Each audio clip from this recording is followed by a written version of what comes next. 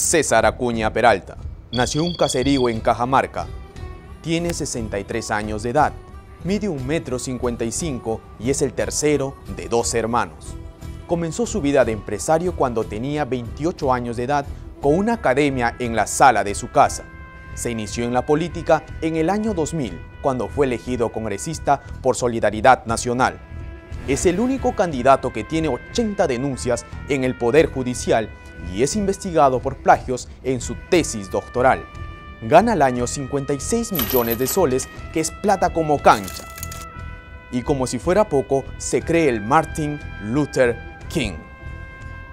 Desde que fundó su joven imperio en la década de los 80, Acuña ha tenido un crecimiento muy acelerado en los negocios en tan poco tiempo. No por algo, en el 2015 la Universidad César Vallejo fue la institución educativa que más ingresos ha recaudado después de la Universidad Católica. En el 2004 aperturó una serie de colegios como el Harvard College en Piura y el Colegio de Ingeniería en Trujillo.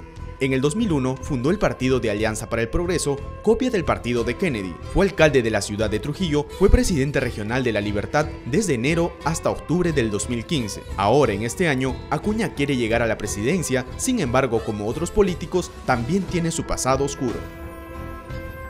Fue denunciado por violación tras tener un hijo con Rosa del Carmen Gutiérrez, alumna de la Academia Preuniversitaria en Trujillo, cuando apenas ella tenía 16 años de edad. Por obra del destino, Francisco Acuña, el primer hijo del candidato presidencial, falleció a los 21 años producto de un accidente de tránsito. En el 2011, la Fiscalía ordenó un peritaje a las cuentas de la Universidad César Vallejo por presunto lavado de activos. En el 2012, la OMPE multó con más de 9 millones de soles al Partido de Alianza por el Progreso por haber recibido aportes 10 veces mayores del límite permitido por parte de la Universidad César Vallejo.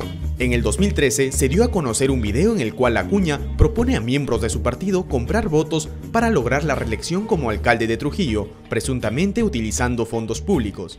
Acuña tiene diversas denuncias entre ellas por violencia contra su mujer, acusaciones de corrupción, lavado de activos y abuso de poder. Es el único candidato que tiene el grado de doctor sin haber leído un libro y hoy está siendo investigado por haber plagiado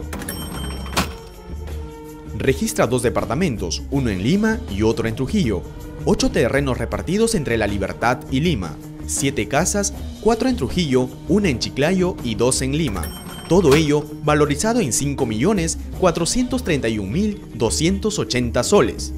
También posee un total de 110 vehículos valorizados en 9.368.954 soles. Todo eso es la vida de César Acuña Peralta.